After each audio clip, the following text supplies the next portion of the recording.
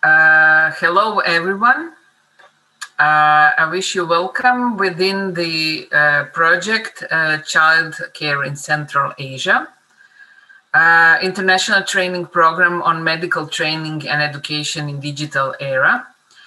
Uh, this project is trying to aim for better continuing education of all those involved in child care uh, today, we are all lifelong learners, and definitely uh, we need updating our skills and competencies all the time.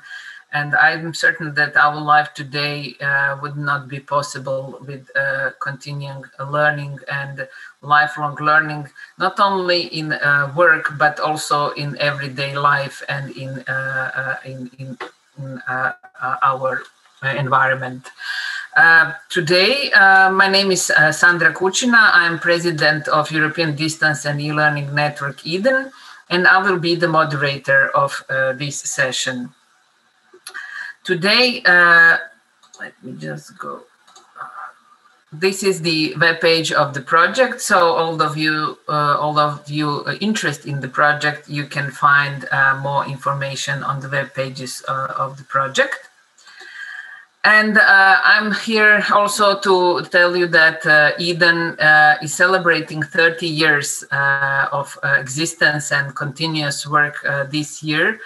as three decades of serving modernization in education in Europe. And we are happy that we are also contributing with this child care in Central Asia project uh, with our presence uh, and collaboration uh, with the project coordinator and members. Today we are in the webinar number four, which is titled Continuing Education in Practice as a Tool to Keep Health Professionals Updated.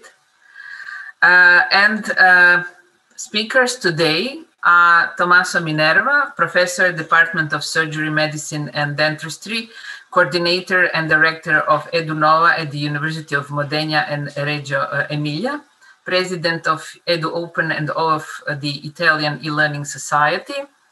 Then Stefano Denicolai, a professor at the University of Pavia, where he's also head of the master in uh, BIBE, director of executive MBA and director of the master in digital innovation entrepreneurship. So I, I shorted uh, your CVs. They are all very long, and uh, participants can find them uh, on uh, web pages of Eden or uh, on the project as well. Uh, then we have Antonio Memeo, Director of Pediatric Orthopedics and Traumatology Complex Operative Unit at the Gaetano Pini Hospital in Milan. Uh, and Stéphane Freneix, a strategic advisor in healthcare industry with long experience in managing marketing and communication of pharmaceutical industry. So uh, this is uh, introduction from me. This session is going to be recorded. Uh, the recordings will be available of the, uh, the web pages of the project and also at the Eden web pages. You can post your questions during the session in the chat, so we will see uh, how to uh, reply to them uh, in the due time.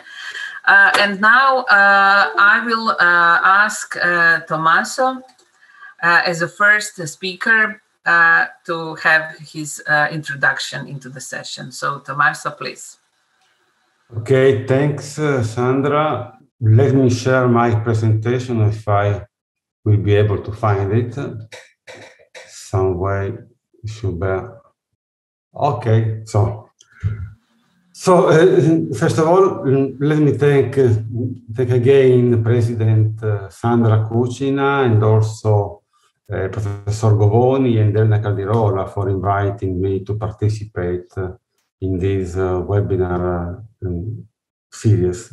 So the topic I will cover in this webinar is uh, an upskill and reskill challenge in the digital era, tools and uh, methodologies. This, uh, this topic concerns the adoption of a digital approach to continuing medical education, both in terms of updating skills and abilities to uh, and, adapt, and adapting to new professional context and thus to need to acquire new skills. So they, uh, just to start, it'd be useful to, to, to outline the training process, usually in, in, in Europe, um, of an healthcare professional, a doctor, a nurse, uh, nurse, a technician. So it includes the first phase of institutional training, a degree, PhD, specialization, and so on, before starting the uh, practice and the professional life. But uh, the, the continuous evolution of medical knowledge and practice involves also a process of uh, constant updating and also realignment of knowledge and skills. This continuous updating process follow, follows two parallels but closely interconnected paths. The daily professional practice and a continuing educational process.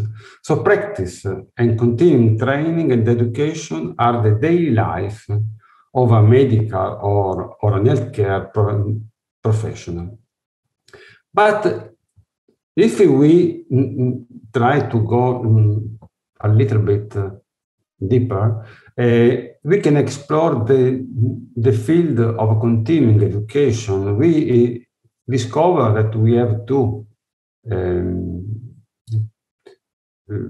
two groups of, of, of activities.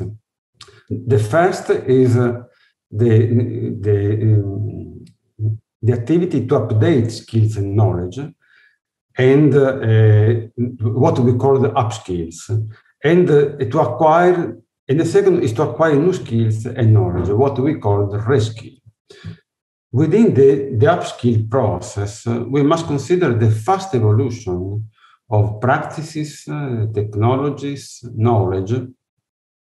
While within the reskill process, uh, we must considering uh, facing new and uncommon scenarios. New required skills able to modify the professional environment deeply. For example, in uh, 2019, we had no COVID at all, while in 2021, we had we have a, world pandemic, we have some new vaccines, but still no, no therapy. So consider how much medical teams had to modify their knowledge, habits, and also expectations. This is a clear case of how, how to rebuild new skills in a minimum interval of time. But a process of, of updating and, uh, and continuing education cannot be an impromptu process. Okay, it can be in an emergency phase, but uh, we must uh, consider to lead this process by expert instructional designers, by expert digital instructional designers. They must have specific skills for training in the medical field, and at present and even more in the future, with solid skills in digital learning, in its methods, in its tools.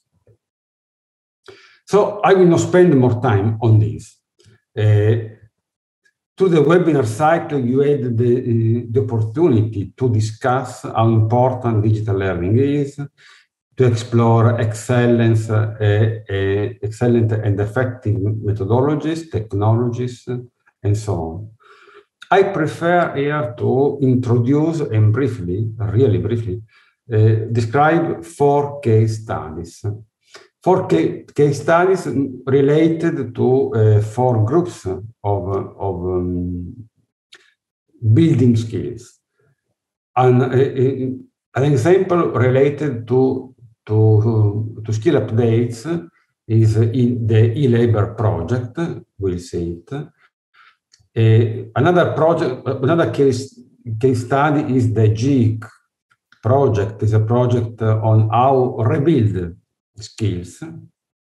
Then the master in medical humanities and finally, the degree in digital education uh, in medicine. These are two uh, degree program from the University of Modena Reggio Emilia to um, build new professional in education in medicine. Uh, briefly, what's the e-labor project? The, the labor project is a project uh, from the Regione Emilia-Romagna is the region in Italy where we, we work. And it's a project with um, a, a, project who offers open and free courses to both professionals and citizens. While certified courses are, uh, are offered only to professionals with the release of, of, an open badge and a certificate at the end of the course, and general courses are promoted to, uh, to the population to help to, um, to reach a, a, an higher uh, health literacy. This is very important now in, in an area of of infodemia related to the, the COVID pandemic. So this is a, a, project of cooperation since there is a very high cooperation among among all the, the, the institutions of the of the region. They are summarized here from, from Parma, Reggio Emilia, Imola, Ferrara, Modena, Piacenza, Bologna, and so on. Eh, e the cooperation is both in terms of um, core design and also in content sharing among the, the, the eight institutions. Some courses are uh, mark, marked as mandatory for employees within each institution, while free courses are uh, for other institutions or for people outside the, the, the health um, institutions in the catalog uh, in, with the specialistic courses, there are also courses to improve the digital learning skills. So how to approach the to knowledge management, how to use digital technology to improve and validate scientific knowledge, and so on. In one year project, we reach more than 40,000 users uh, on 30 courses uh, in the in in the whole catalog. So this could be a project uh, referring to a standard digital upskill program. is uh, is very standard. The only uh, peculiar item is the cooperation within a large scale institution. The, the second one, the, the following case introduces uh, an example of how we faced the needs to reskill quickly a group of professionals. That is how to create new skills in a group of non-specialist professionals and immediately place them in a high intensity operating operational environment. So the JIC project was instead a emergency imposed by the COVID pandemic. During the, the acute phases of, of the pandemic spread, there was a significant shortage of professionals able to operate in intensive care units and emergency department. The JIC pathway built an instant education project has prepared doctors specialized in not intensive care such as general, general care, pediatrics, dermatologist, ophthalmologist, and so on, to operate in intensive care to support specialized teams. It was a joint project uh, of the four universities of Emilia-Romagna, the University of Modena Reggio Emilia, the University of Bologna, the University of Ferrara, and finally the University of Parma. So the training project started with, uh, with online asynchronous lectures, it's about 40 hours of lectures, on different topics related to the uh, to the to the COVID pandemic, followed by a week on on field training in an emergency room. Then they were ready to to to work in in in the emergency in the emergency department. So it was a real instant education project. We recorded all the lectures in October 2020 we used the modified BigBlueButton uh, plugin for Moodle to um, separate the record video and audio tracks. Then we post-produced the, the, the, lectures. The path was published in November 2020, at the beginning of November 2020, while at the end of November, beginning of, December, we had, an, we had another pandemic shock here in Italy, the second wave, followed by the March 2021 third wave. So we were really on time to prepare this group of, um, of doctors, of specialists, to, to help the, the, the emergency departments. So the program is still online and active while we are, we are planning to update lectures and also to open to general audience. Uh, so another case of introducing new skills is the master in uh, medical humanities. Master in medical humanities is, uh, is a cross between medical sciences and humanities. And uh, the underlying principle is that clinical practice must consider the human aspects of relationships, communication, narration, ethics, and cultures.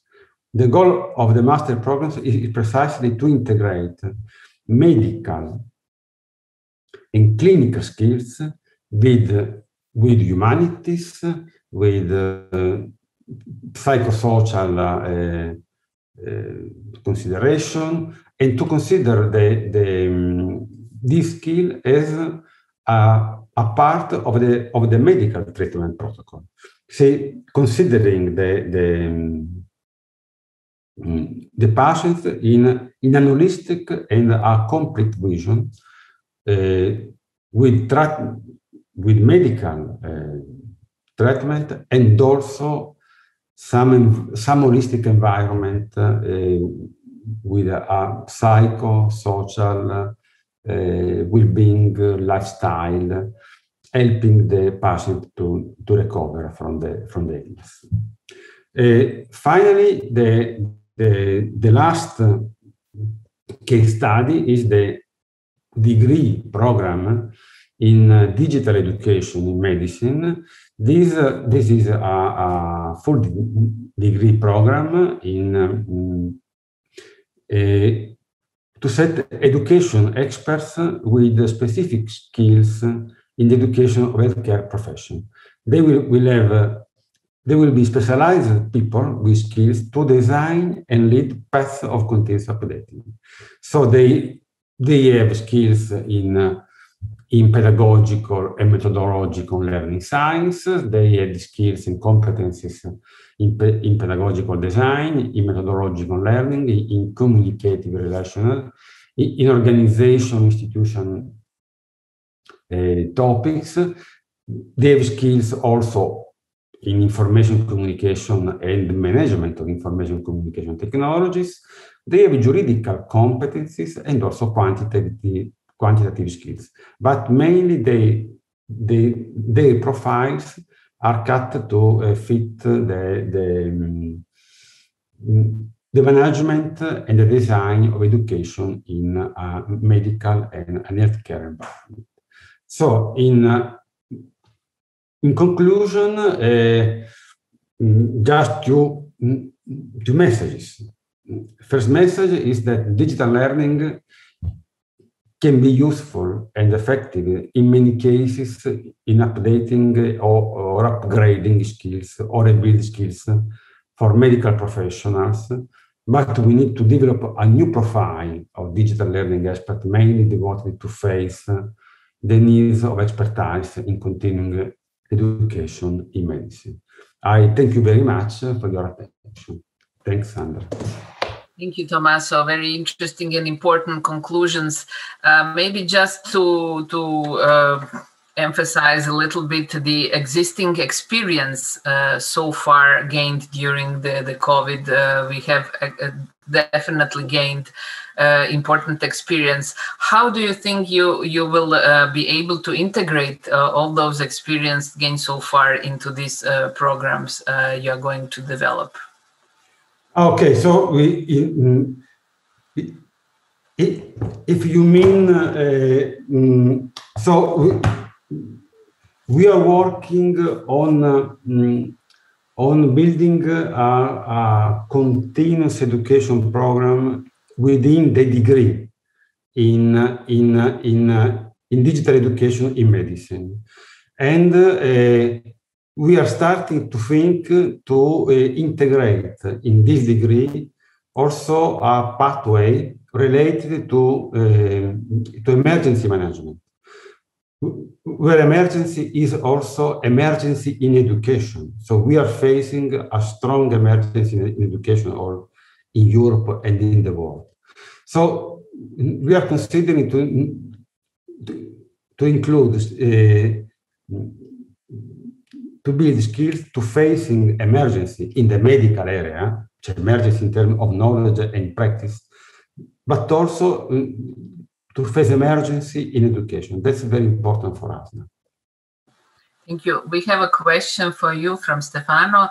He asked, uh, the courses on digital learning skill has similarities the faculty, with the faculty development programs we spoke about in one of the previous webinars, but looks directed to a more broad audience. Is that correct? In contrast to the, oops, sorry, I just skipped in the I have a small computer this time, sorry. Okay, I can read it. yes, please. Uh, yeah. Very long question, but, but in reading. Yes, Stefano, the, the, the first two projects, they are um, directed to a very broad audience. The first one is also directed to, to, uh, to, to public, since we, we are considering that the healthcare culture is not only be uh, something for, for a doctor. We must spread this knowledge. Uh, the, the last one, the, the last use, the, the master and also the digital education degree, they are, they are specific course for academics. So the, the first one, the master is also for uh, for doctors, for for for for working people, for uh, for for nurses, technicians, and so on. The second one is a normal um, first level degree, three year degree. Thank you. Uh, so uh, let's move on. We will come back uh, with the discussion later. Uh, I suggest uh, mm, that Stefano Denicolai um, can you start uh, now? You can share your uh, presentation if you have one. Okay, uh, I have not a presentation, but I would like to share anyway a web link if, if I can. Okay. Okay. just for the just for the introduction. Good. So you will share it in the chat. Uh, well, I can also try to share as a screen. Oh, Do you see? Yes, we can see it. So please, floor is yours. Okay, so thank you, thank you so much. Thank you for organizing a committee and to all the participants to this uh, very important uh, uh, digital workshop. Um, as said before, I'm Stefano Nicolai. Um, I'm not a doctor. I'm not a member of the medical department. Um, I work in the Department of Economics and Management. Uh, my interest is in the innovation management, the management of uh, new things within companies, organizational change, and business transformation. Even though, yes, I'm I'm a particular interest also in the healthcare sectors, in innovation teaching, uh, and uh, I'm also excited about uh, everything new uh, regarding the links between digital and teaching and learning. so um, let me start with my um, with my brief speech, uh, which is entitled Teaching and Learning Healthcare Management. So it's about management, okay? Management of healthcare organization. And uh, in particular, what I would like to share with you is some insights, some lessons learned, some experience, some outcomes of our, our uh, research within the specific field of smart learning uh, and, and teaching innovation. Well, um, smart learning is not just, as, as you know, is not just a remote working, is everything, uh, take the best and exploit the best you can, uh, digital tools, technological innovation in order to boost learning experience. And, and um, the ex- specifically the experience that I would like to share with you today regard our master degree EMLOS, which is um, um, which is uh, dedicated to top management uh, in healthcare. Uh, this is the website, and um, what is uh, pretty interesting is that we decided to keep the audience related only to top managers. Only to top managers. We have 30 um, people in class per year, and they are general managers they are uh, directors of administration. They are uh, social um, uh, healthcare uh, directors. Mm? Um, why I'm saying this? I'm saying this that because the audience is the first key point in my in my discussion. I can also stop sharing. So this is EMLOS for who are interested is emlos.it. Um,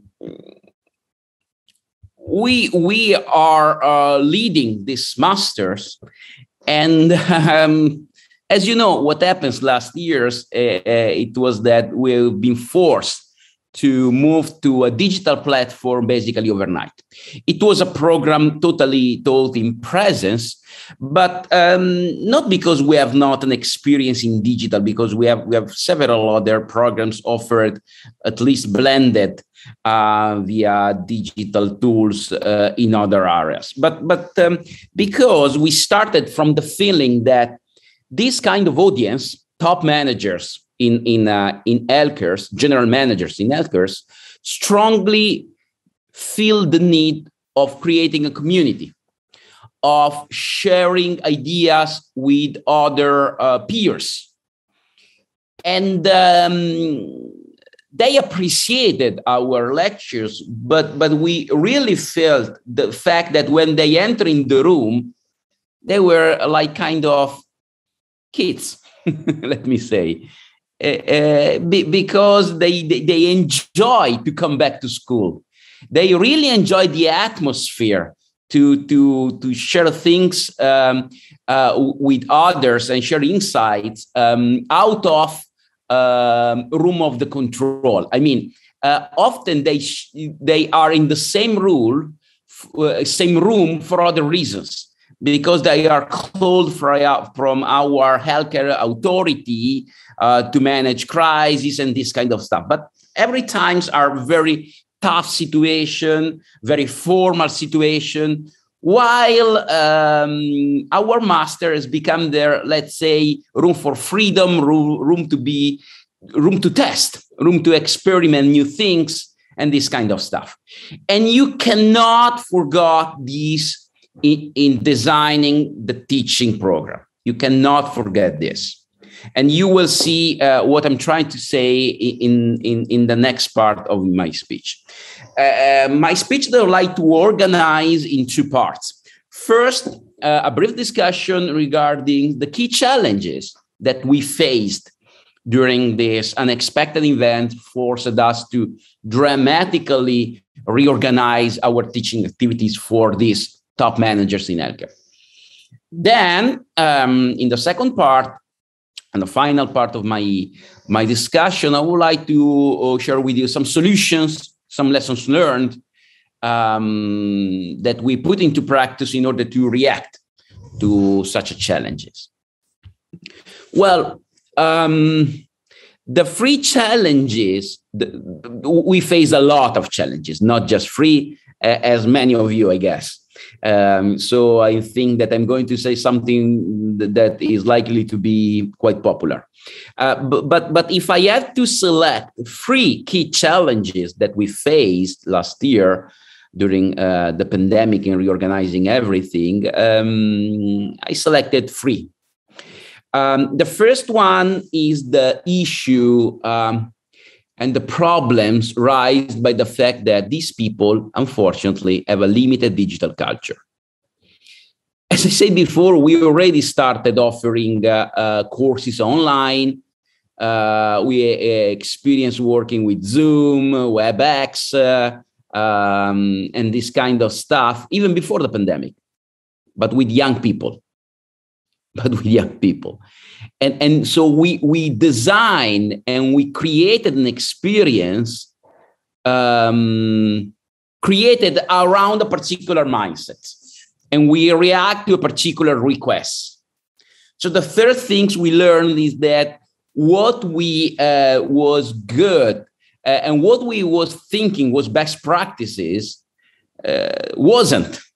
Uh, with, with, with people that from one side have a different age uh, our our attenders have about 50 years some of them more than 60 years. You know uh, i don't know in your countries but in italy um, healthcare uh, needs a lot of experience lead a lot of a long careers and there are some let's say dynamics and, and mechanisms of power, let me say, according to which you can become the general manager of this organization only in the second part of your career. So let's say above 50 years or at least. And uh, they have a different culture. I don't want to say that they don't have culture, because just to give an example, they created a WhatsApp group immediately by themselves. By themselves. So, so, so it, it is false. It is incorrect to say that they have not a digital culture at all. But for sure, they have a di- different digital culture. Just to give you an example, um, uh, breaking rooms. I guess you know what are breaking rooms. They are a way to, to create separated rooms, independent rooms. Uh, in parallel during uh, digital uh, um, seminars in order to create teams discussing things, uh, putting into practice an exercise, um, our young students, uh, the, the master degree in our university, literally love this. Uh, breaking rooms has been a failure with our uh, top managers. Okay, or at least they started appreciated this um, this method after uh, weeks or months after to recreating a new digital culture. I will tell you later on why in my opinion. But anyway, so there, there is an issue first of digital culture. Some of them they have not a digital culture at all. And some of them maybe have a digital culture, but which is different. So what you learn with um, with uh, digital teaching, uh, smart teaching, sometimes need to be dramatically adapted. The first key issue that we face is the issue of attention. Issue of attention. So we are talking about, once again, general managers of healthcare. General managers of healthcare organization in the middle of a pandemic where a lot of people dying. So um, if you have that person in presence, they feel the kind of disconnection with their organization. So good or bad, they are out of their organization. If they are in front of the PCE, they're continuously receiving a telephone call. They need to check their email account. And the problem is that this happened all to all of us. I'm sure 100% that even the tenders to this workshop checked the emails or checked some message in, in, in the in the smart uh, smartphone. I'm sure 100% that you you you now uh, already did something like that um, it's okay. It may happen. The issue is that they feel a particular urgency because of their role. So everything else is, is a priority because people are dying. But it, of course, we, of course, we need to understand this. of course. However, this is a, a dramatically affecting the quality of lectures, interactions, and this kind of stuff. So you have to take care of that. You have to take care of that. The third key issue that we face is that how to keep the community alive. As I told you before, come on, let me be extremely frank with you. It was a kind of new kindergarten from them. Okay. And, and uh, they they were literally thrilled and excited to come in, in, in, in the classroom. We, we really felt a great enthusiasm in, in attending our master. But a significant part of, of it was to be together in the same room, um, share faces, share uh, the, the same experience physically, the lunchtime, networking, and this kind of stuff. So, how to keep this condition alive um, also for top managers in the healthcare industry? Uh, well, um, you can probably think that these challenges are shared even for other situations, for younger people, for other sectors. But trust me, um, you can mention even other challenges. The, the list can be definitely longer. But I think that these three are particularly um, evident and strong in the case of managers in healthcare industry. So, so what? what we what we can do to manage and to mitigate the, the problems raised by these challenges. Um, again, I would like to share with you um, uh, some some best practices that we we we put into practice. Uh, the first the first one is um, we learned that you need to create a digital i'm talking about digital digital lectures so something like what we are doing right now. Um, so you have to create a lot of dynamicity.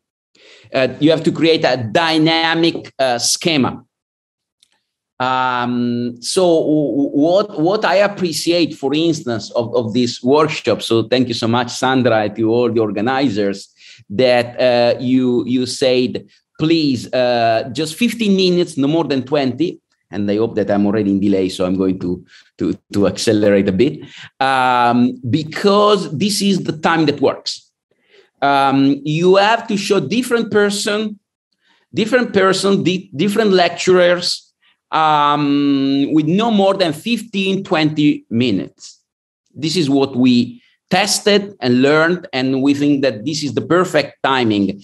Um, with 10 minutes, it is not enough to elaborate um, a strong message, especially for experienced people. Okay, you cannot tell stories to, to, the, to these persons. You need to have something strong and in depth concept.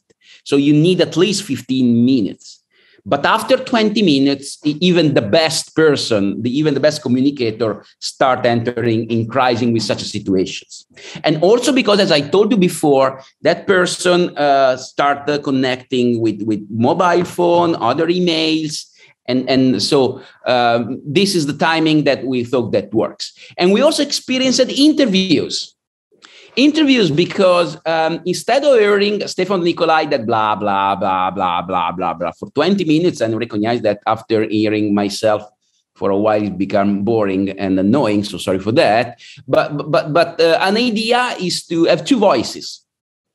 So so please um, why don't you consider um, interviews? Okay 20 minutes but some questions. And you so you create a break you create dynamics you you have more voices and you also you you start creating the right feeling to other person to interact and make questions because you are in the flow. Okay? It is what already happening. Questions and answers.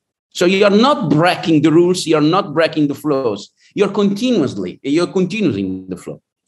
So interviews we face that interviews works uh, very well.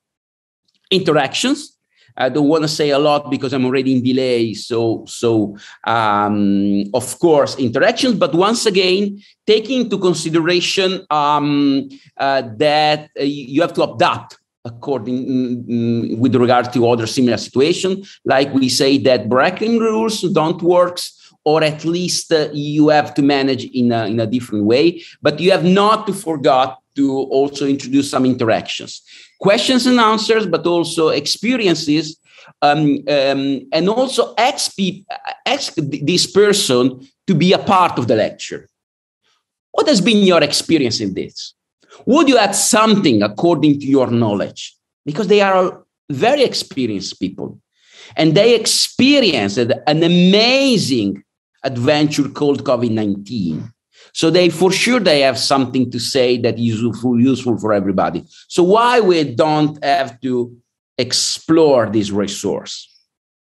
Third point, in my opinion, you have to strike the right balance between excellence, top excellence, and something out of the box at the uh, at the extremes at the two extremes so from one side something at the top you have to offer something at the top because you know healthcare lives on reputations lives on star scientists reputation is super important in healthcare okay so if you put in your lectures something super important uh, it is very appreciated because they have to feel that the counterpart is super expert in the field. For instance, we organize a lecture with with with, um, with uh, the vice president of Moderna, the head of the vaccine program, and, um, but even in that case, he had only 15 minutes, 20 minutes.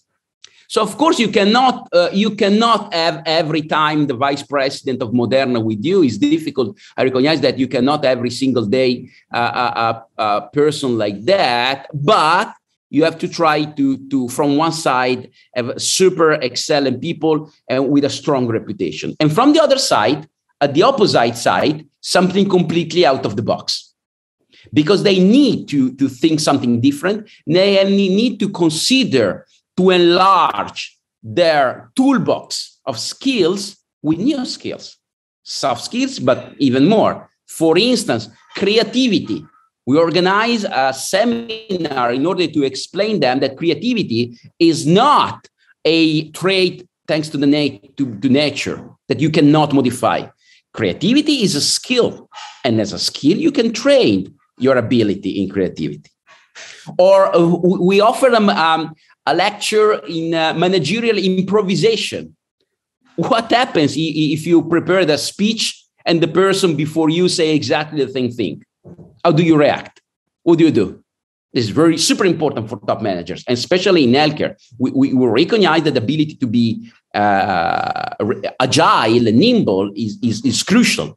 But they are not used to, to think that this could be a thing that could be trained or, or, or teached or or we also offered um, um, uh, a lecture on how to control your breath to manage stressful situation. They say, "Oh my God, I think that this is completely uh, useless." Uh, at the end, they say, "Thank you so much. It has been great." So this is what I say. This is what I mean with striking the right balance with uh, excellence, top excellence in healthcare, something which fit the best with their interest and with their sectors and something completely out of the box. This mix works a lot thanks to our experience. Um, finally, I have one final comment. Yes, please, um, finally, because we are a little bit. I promise, I promise. A takeaway is means that uh, uh, yes, of course, sometimes we have to do blended situation where there are people in presence and people remotely. Um, and I also like this situation, but we think that the best is to take your own way and, and one precise ways. Uh, 100% remotely or 100% in presence, because there are two completely different things. And so if you try to do both, you run the risk to do nothing. That's all. Thank you so much. Thank you, Stefano, for a very live and sincere presentation. Uh, you definitely struck at some points. Uh, I'm I'm not going to ask you the question, but just uh, just comment. If we take out this management uh, out of the picture and put student there, don't you think we will have the same experience about lack of concentration, uh, need for uh, different things to be creative, to be innovative, to give them something out of the box. I think that your your experience can be adapted to to really large uh, number of people, especially to students. Well, let me say that. Um, uh, yes, you're right. I also said before that some of these uh, issues, tools are shared with, with other situations, of course, of course. But uh, at the same time, I would say that are more specific to this situation. Let me give you an example. Um, with, with young students, I'm, I'm really straightforward in saying, okay, during my lecture, you cannot take a look on your smartphone. You're not allowed. Okay, just to give an example.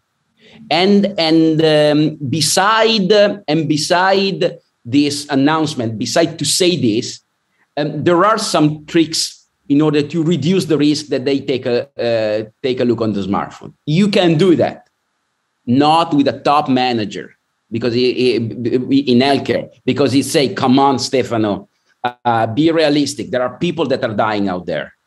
If they call me, I have to reply." Yeah, of course. It's just an example. Just an example. You're right. You're right. But but uh, the level of, of the challenge is to the next level. Is higher. Yeah, I agree. Thank you. Thank you so much. Uh, let's move on to the profession. So now we have Antonio. Uh, so uh, who will share his experience and insight on uh, how this uh, continuing education can, can be important. So Antonio, please, floor is yours. Okay, thank you very much. I, I would uh, like to present our experience in uh, organizing the second level Master in Pediatric Orthopedics and Traumatology that we have done together with the University of Pavia, Professoressa Pedrotti and Dottoressa Elena, Elena Caldirola. And we have planned to organize this master in um, two, uh, 19, uh, 2019 before COVID and we have already decided to organize this master online in that period. And we because uh, the organization was uh, for all italian uh, orthopedic surgeons that don't have the specialty in pediatric orthopedics. Because the request on the territory of the specialist in pediatric orthopedics was very large. So in this master we have involved a, a lot of center in Italy, and our goal is to train orthopedic specialty with a concrete presence of activity relating to pediatric orthopedic and not, so, not only pediatric orthopedic, but even traumatology. Discriminate between the pathological and physiological aspect of the pathology and is direct towards early diagnosis and was the choice of suitable treatment for pathology. In Italy, we, in Italy, we don't have a, specialty school uh, of uh, pediatric orthopedics. So the, normally after the School of Medicine, the orthopedics became a specialist in orthopedic and traumatology, in general orthopedic and traumatology, but don't have the, the skill in uh, pediatrics. So the goal of, of our idea was in collaboration with the University of Pavia, myself, because in that period I was the president of the Italian Society of Pediatric Orthopedics. Now, at the moment, I am the past president of this society. So, to, the organization in, between the Italian Orthopedic Society of Pediatrics and uh, Orthopedic Pediatric Center in all the country, we start with this our experience. It's a multi-speciality collection inter-university collaboration because uh, we involved a lot of uh, center, Pavia, Milano, Roma, Genova, and other five public hospital centers. Our master is, uh, it will be closed at the end of this year. And now I will show you in the next slide, the next slide, uh, the program. Okay, the teaching modules is a very large modules. It is 1,500 hours online lesson. And all the lesson was uh, recorded so that the student can participate directly to the lesson or they can uh, learn in the night, in the Saturday, in Sunday when they have time. And this is the program that we have uh, um, organized. Is always approach to the patient, pathology of even segment, the, the spine, uh, the level, the, the foot, uh, the knee, and so we have spoken about uh, even uh, neoplastic uh, pathology, neuroorthopedia, pathology orthopedica, traumatology, and even uh, with the collaboration of Professor Cimaz, who will speak after me, about the um, rheumatology, because in our department, we are on the same floor. There is orthopedic and rheumatology department of pediatric and even pediatric rheumatology department of uh, rheumatology. So this is the our teaching modules is a lot of uh, time because uh, 1,500 hours online is a longer period of attendance.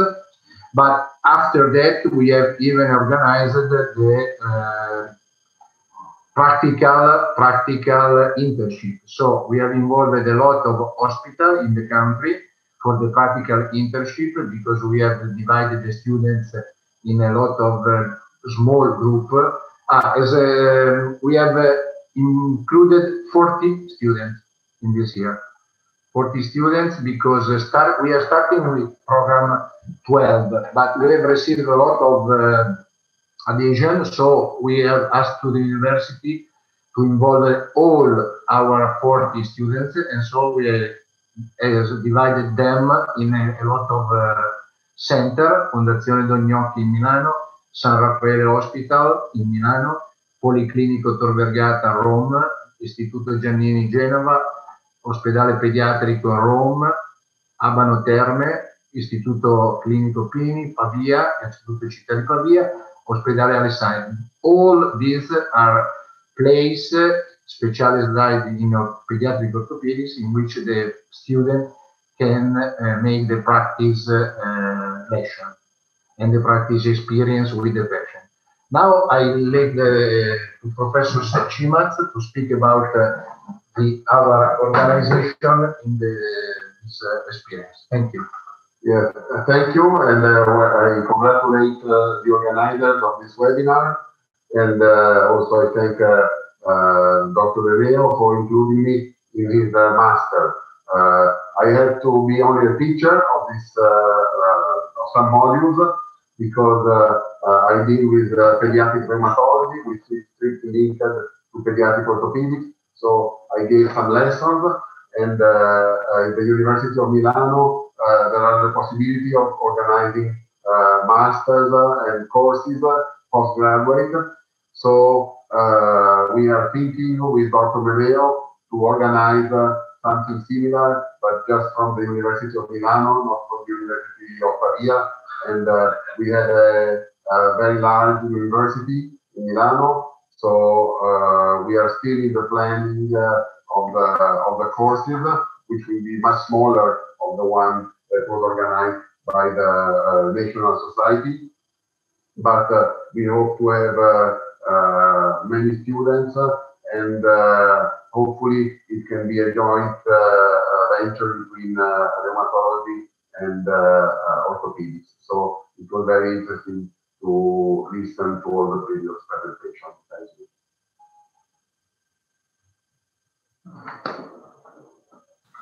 Okay, this is our uh, experience and uh, we have uh, completed the presentation.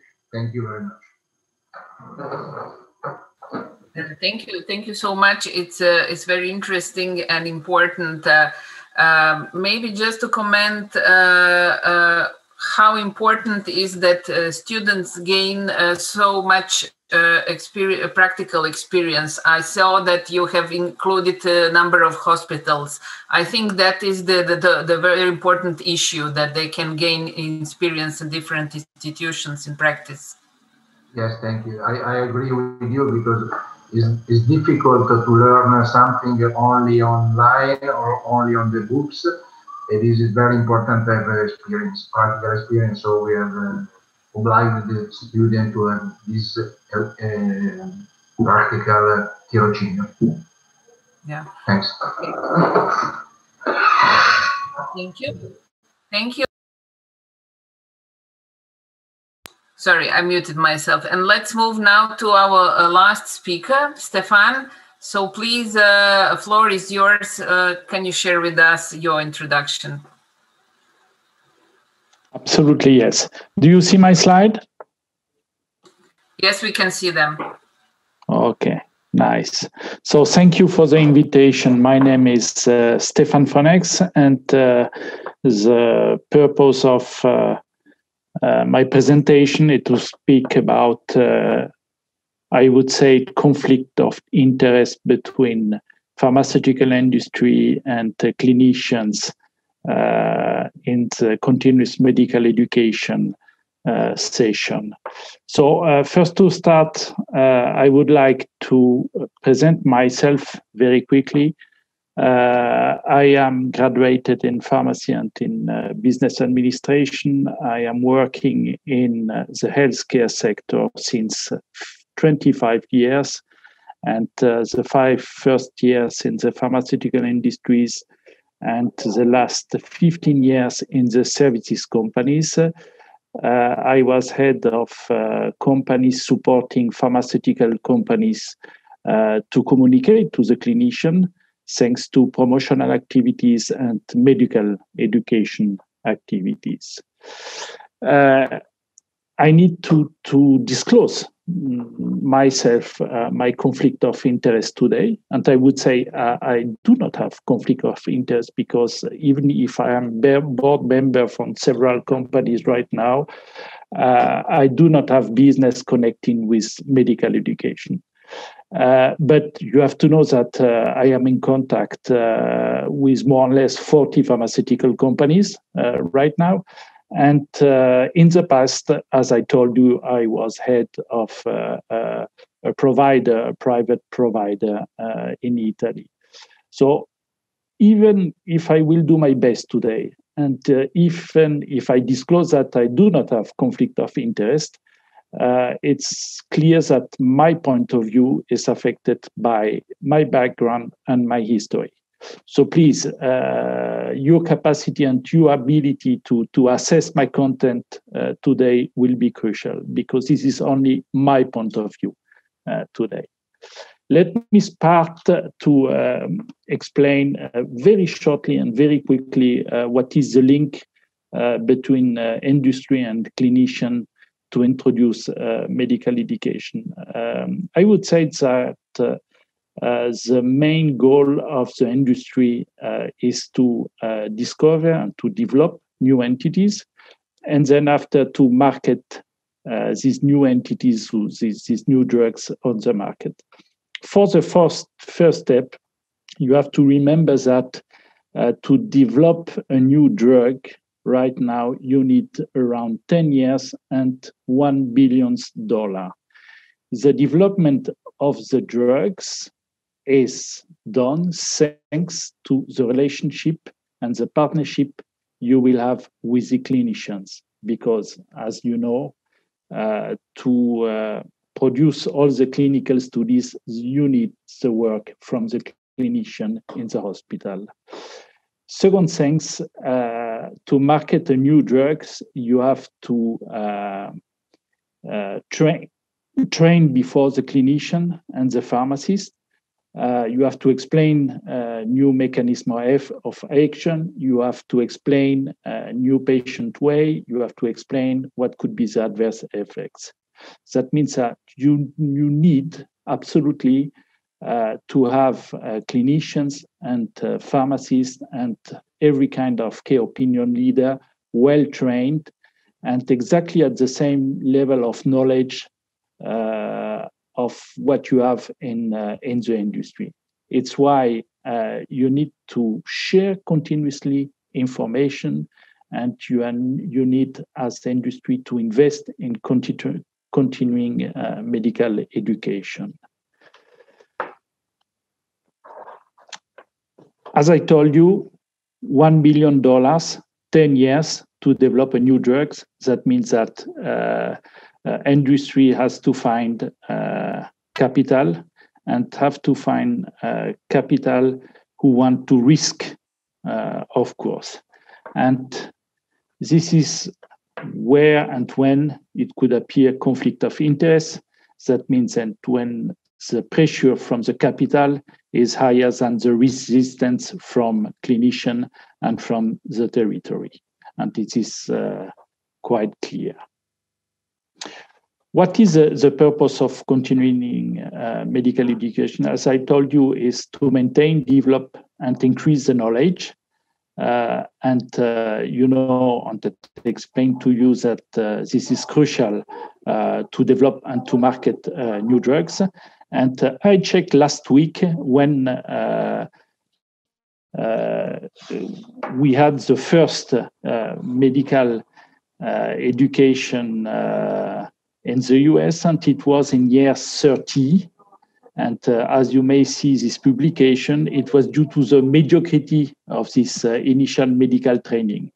Uh, so it has been decided after to build up guidelines and rules uh, to have a better level and less conflict of interest uh, to share information and uh, to do this training session what is uh, the real uh, the value of uh, continuing medical education of course all the session has to be accredited in all the countries and there are four steps essential steps. The first one is to ensure that the content is valid. The second one is to prevent commercial bias. Uh, the third one is to uh, identify and mitigate uh, relevant uh, financial relationship. And the last one is to manage commercial support appropriately. Uh, there is a, and fortunately, there is a difference between promotional activities and medical education activities.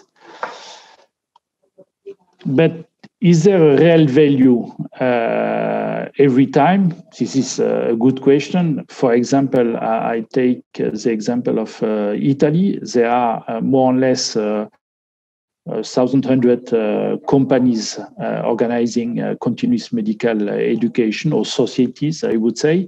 70% of these uh, organization are private one. Okay, that means that uh, the, the goal for these companies is to do business.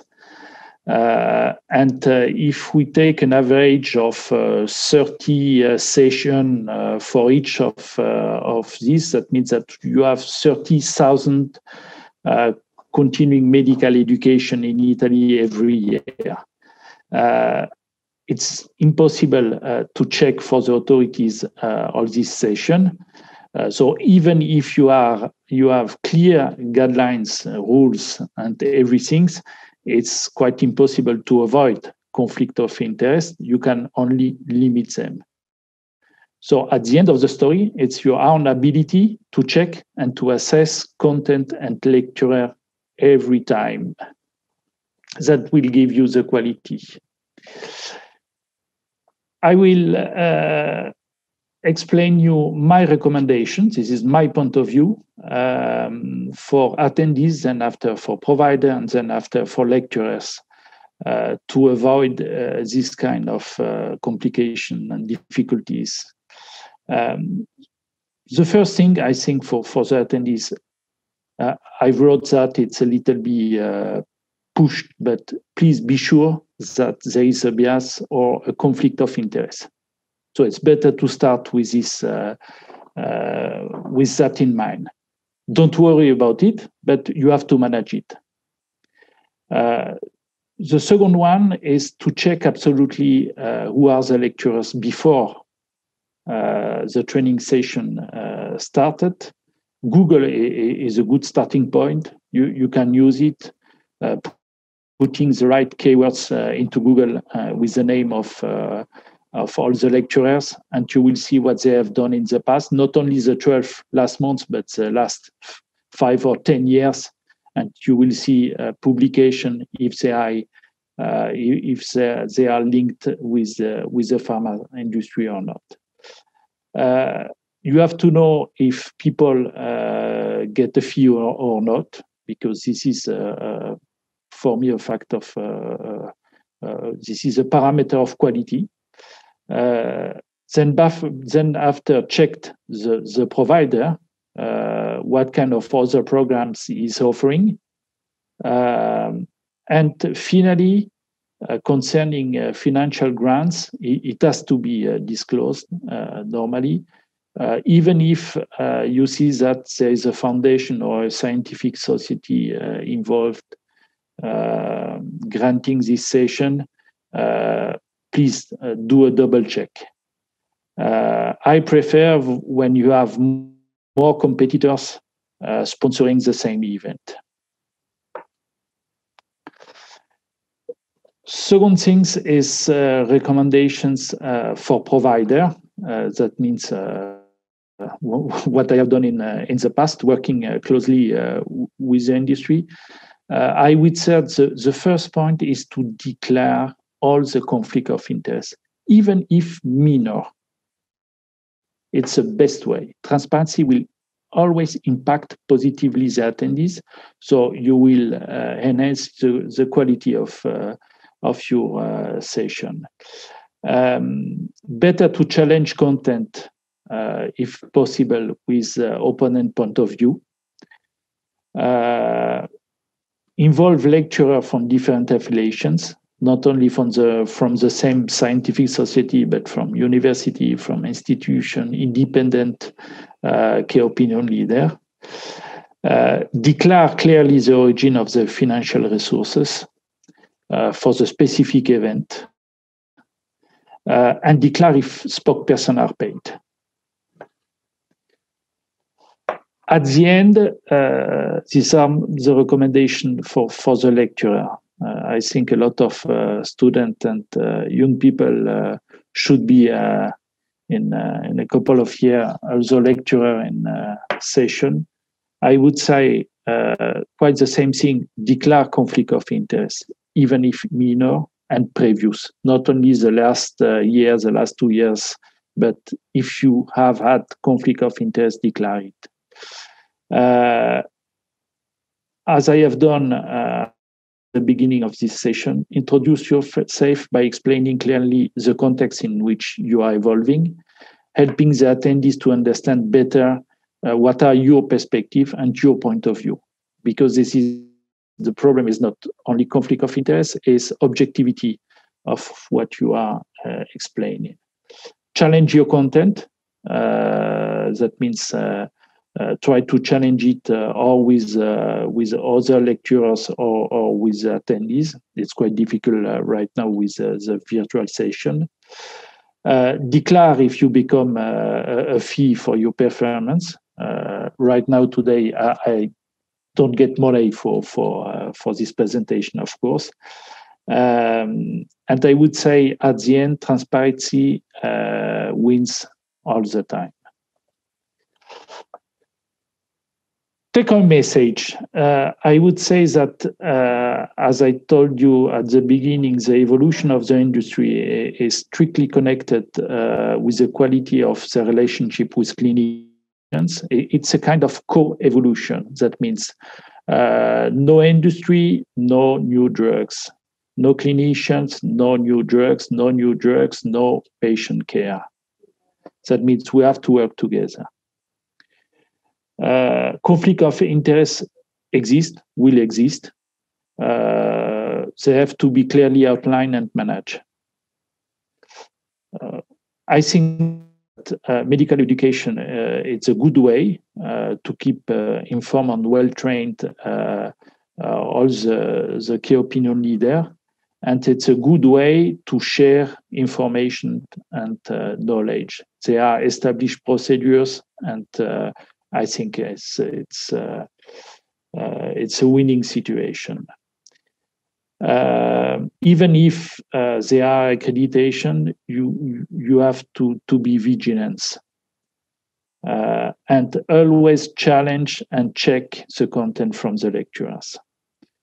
At the end, transparency, transparency, transparency. It's always better. Okay. I finished my presentation. Thank you, Stéphane. Uh, very, very good uh, presentation. I have learned a lot and uh, really good uh, guidance uh, uh, how to present and how to organize some events. I agree with you. Transparency is the most important issue, and if you have transparency, then everything else will somehow fit. On the right places. So Stefano has been very active and he has set a few questions. And so now we were speaking with you, so I will address you uh, with the questions. Uh, a question from him. He asked, uh, "Are there differences in the attitude toward the conflict of interest in various countries, or attitude is uniform?" And the comment, a question. I really appreciated your suggestions to attendees. Indeed, you are proposing a personal, proactive attitude of the attendees in personally evaluate whether or not there is a conflict of interest. Is this correct? So please. Yeah, uh, first sign uh, difference between countries. I don't think there are difference between countries. I, I have only the experience from uh, France, US, and uh, Italy, and uh, it's it's not due. The, the rules are quite the same in in all these countries. It's due to the fact that uh, you have private provider. they it's a, it's a business and uh, to the other part, you have private partners. There are pharmaceutical industries. Uh, they have to do business. Uh, you have to think about the best way uh, to do all this business. That means, for me, trans- transparency it's it's a key parameter uh, for this. What about the second question? I do not remember. Uh, second question is. Um, um, in are you proposing a personal proactive attitude of the attendees in personal uh, in personally evaluate whether or not there's a conflict of interest is this correct yeah yeah yeah. Good. Okay thank you so much. Uh, let's see now professor Memeo, we have a question from you. Uh, Stefano is asking what is the importance of distance instruments in the theoretical parts of your master's Sorry, can, can you repeat? I, I didn't understand the, the first okay, so what is the importance of distance instruments in theoretical parts of your master? The importance is that we, with this instrument, we have involved all the country, all the people that are uh, joined with us from uh, place that are very, very far from here so they can learn uh, distance without coming in the university, without coming to the in the hospital, and they have the possibility to learn uh, the experience from uh, all the professor of uh, kind of specialty, different specialty, and they come to the hospital just for the practical experience. So this is my opinion. Thank you. Thank you. Very good. And uh, Stefano, uh, we have a question for you as well. Um, um, Stefano, your the same name is Stefano Govoni is asking Stefano De, uh, Denicolai. So he asked, I think that you are underscoring the importance of the audience composition and the build and the building community is a key issue. In the case you presented, what is the relevance of recorded uh, in the case you presented, what is the relevance of recorded recorded sessions, if any? So uh, please, can you can you answer this question? Uh, Stefano, are you with us?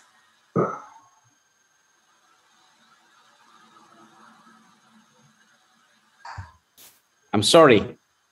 Okay. So uh, uh, did you see the question in the chat? Uh, it says um, the, the one of, of Stefano. Yes. Yes. Yes, yes, yes. Well, um, it, it's a tricky answer because we recorded, we recorded, but to decide, it's a work in progress um, uh, process uh, because I have to say that um, only a few uh, take a look on take a look on recorded video. Okay. Uh-huh this is related something to what we already say. They feel to have a very limited amount of time, their scarce attention, and uh, and so if there is one day where there is the, the, the lecture, they feel to be forced, or anyway, there is a way to do that. If they have to find out the, the space in their agenda, in their time to review recorded lecture, they struggle and do that.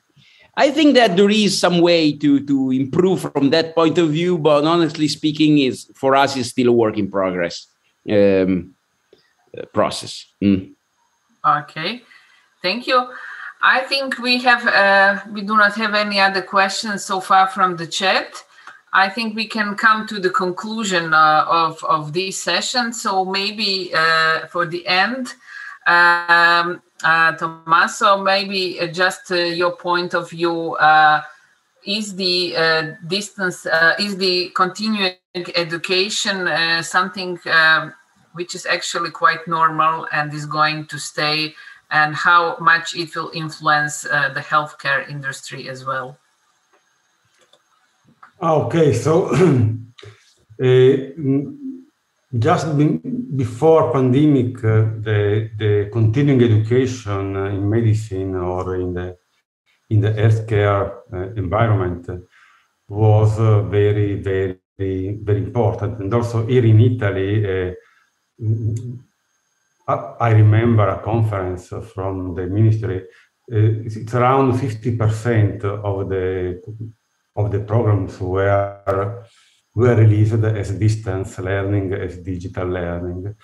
Now, after the, the pandemic, I believe the digital learning environments in, in continuing medical education will be at 100%. So it's we cannot go back from from this for continuing education in medicine, and eh, and this will um, will need a very deep understanding of, the processes from our side, so from the side of experts in uh, methodologies and technologies, and also um, mm, continuous relationships with uh, professionals to to match uh, mm, methodologies and needs from the from the other side, and uh,